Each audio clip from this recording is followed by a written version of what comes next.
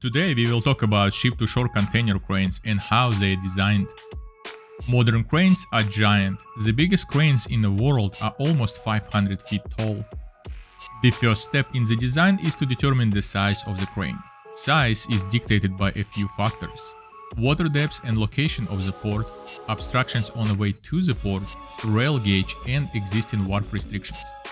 Crane consists of several main sections, lower and upper structures, boom and machine housing. Crane as a whole and each section individually is analyzed for load, wind, fatigue, deflection and equilibrium stresses. Crane will be operating in harsh conditions, so material for each part is carefully selected. Connection points, welds and bolts are also analyzed.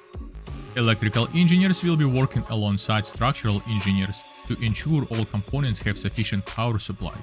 IT engineers will be working on telecom portion. When all calculations are done, final report and drawings are issued to the owner. Last step in the design, shipment calculations. Crane is shipped fully assembled, so engineers need to figure out how to move such massive structure safely. Then the crane is built and shipped, but that is a story for another day.